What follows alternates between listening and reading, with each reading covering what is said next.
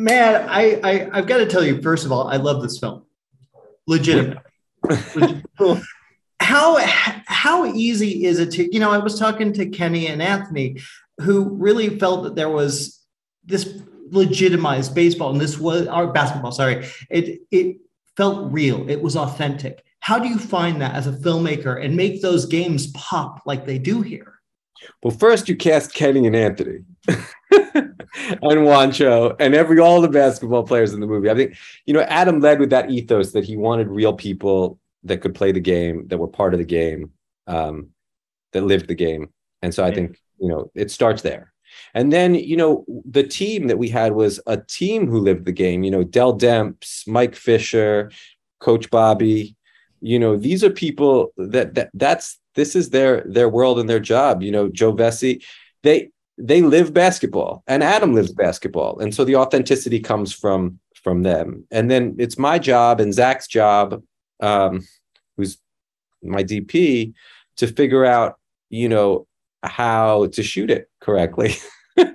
and so we spent a long time trying to figure that out. Well, one of the key factors that makes it work so well is, is the chemistry between Adam and Juancho. I mean, that, and that's insane for a, a, basketball player just come out and go, "Hey, I'm going to be the lead in a film." How did you know he was the right voice for this?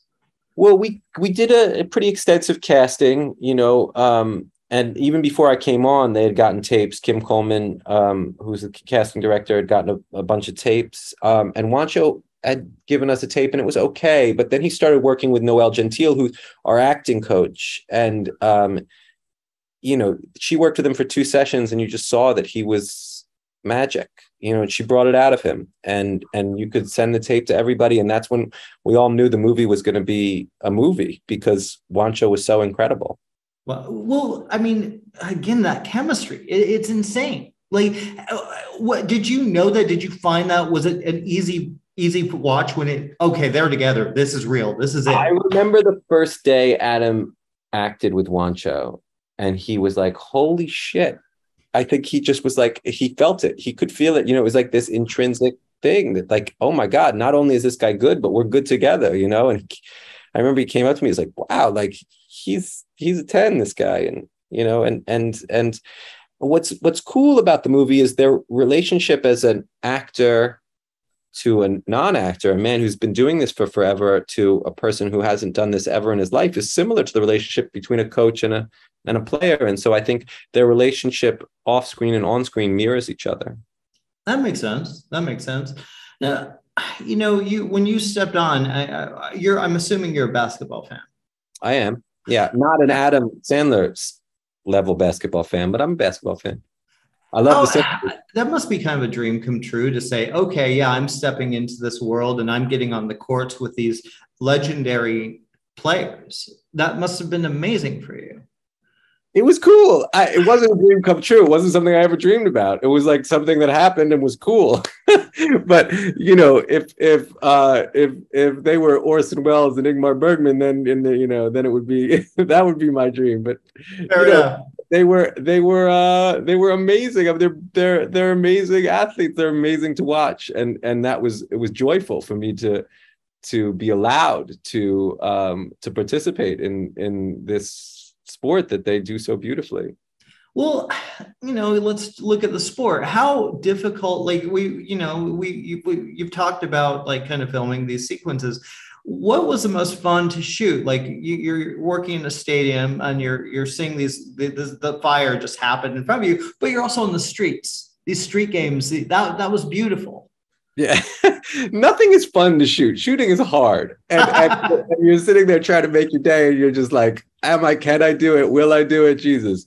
Um, the the the the night shoot that we did with Tobias Harris for the Boa Challenge was a pretty insane night. I, I don't know if I'd call it fun exactly, but it was wild. Um, and what you see on screen is not even close to as wild as it was in person. Having Beanie Sigel and Freeway and Tierra Whack and 400 extras and Adam Sandler. Uh, there was one point in that that night when Tierra Whack got Meek Mills, woke Meek Mills up on on her on her phone, and had the entire extras team rap his song to him while he was in bed. That's so amazing. that shit was crazy. I mean, I'll remember that for the rest of my life. That's cool. We gotta wrap it up, but man, congratulations. This is a great movie. Fantastic. Very much, man. Thank you very much. Taking me to see basketball or bare knuckle boxing? We do everything. I'm Stanley Sugarman. I'm a scout for the 76ers. So you're 22 years old because you can't be in the draft if you're over 22. Yes, I'm 22 years old. Who's this? It's my son. How old is he? He's 10 years old. Okay. Okay. This Philly thing. There's room to grow there. I want to coach someday. Do you love being away from home all the time? Best chance to win in here is with you out there. What the hell am I still chasing this for? So you're just gonna give up on your dream? Been in this league for 30 years and it's like I'm nothing.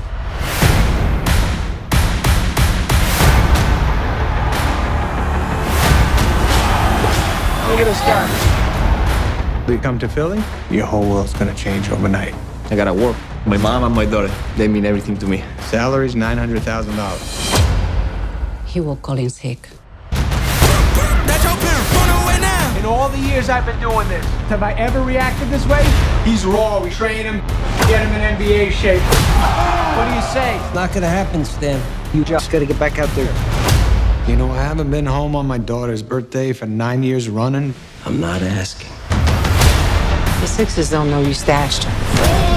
Being the guy who finds the guy matters in this business. Moulton's fire you for this. Just want to make sure I do what's right for the kid. He's got a daughter to support. You got a daughter to support. Where you from? Spain. Sounds wet. You think you can stop me? Welcome to America! That wasn't him. That wasn't even close to him. I fly home tomorrow. Is that what you want to do? Hey, you love this game. I love this game. I live this game. Let's get to work. The draft is in six weeks. If we're gonna do this, we gotta do it ourselves. No doubt about it. That kid's got it. Do you need a hand up? You don't need nobody's help. We need a spark. This is all for you, pal. This for us. Okay, it's for us.